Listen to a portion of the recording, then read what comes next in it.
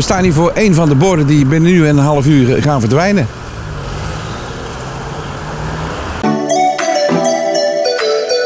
Omroep Dommelland Nieuwsflits. Het gaat over het bouwproject Kerkweide West. Dat is hier aan de achterkant, grenst aan al onze achtertuinen. En eh, daar worden 29 woningen gebouwd. En wij wilden heel graag achter een inrit. Dat was een van de dingen die, uh, die speelden.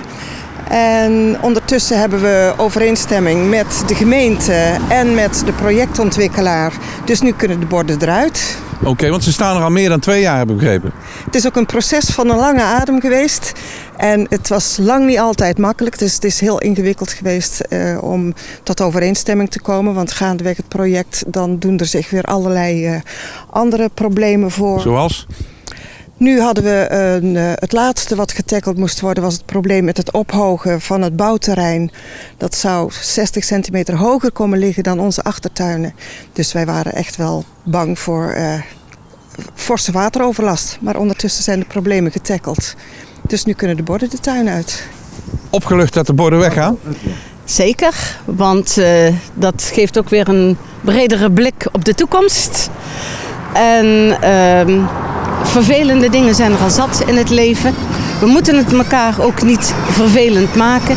Dit had totaal ook helemaal niet gehoeven. Dit had al zeker 3,5 jaar geleden eerder opgelost kunnen zijn in goede harmonie.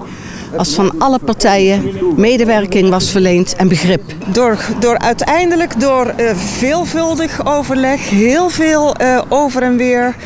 Uh, onze, onze vragen beantwoorden, uh, hun vragen beantwoorden, samen aan tafel tekeningen bekijken. Hoe kunnen we zus, hoe kunnen we zo? En nou, uh, na heel veel overleg zijn we eruit. Maar ben je ook wel eens naar huis gereden dat je een beetje boos was en dacht van... hoe kunnen ze dat, dit nou toch doen? Dat hebben we regelmatig gedacht, ja, ja, ja. Maar uiteindelijk ook uitgesproken. Ook dingen zijn echt uitgesproken. En dat is denk ik toch de manier waarop je er samen uit moet zien te komen. Want wij snappen ook wel dat het nodig is dat er gebouwd wordt. Het is niet alleen maar een bord, maar ook een stuk leven wat dusdanig eronder geleid heeft dat het slapeloze nachten heeft bezorgd en een stukje van mijn leven vergald heeft. En dat zullen heel veel mensen niet begrijpen. Maar ik woon hier twintig jaar zonder mijn man. Ik heb geprobeerd het in stand te houden, er gelukkig te zijn. En door al die jaren die, vind ik, nutteloos zijn verknald, doordat er niet goed gecommuniceerd is, um, ben ik een stukje van mijn leven hier kwijt geweest.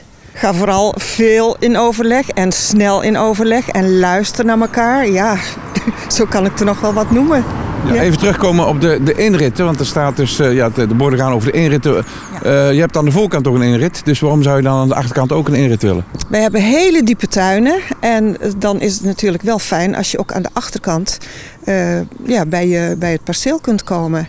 En dit was een moment dat dat zou, dat konden we vroeger ook hoor, maar dan moesten we door de wei. Maar nu, nu was het toch wel het moment om te vragen om zo'n inrit.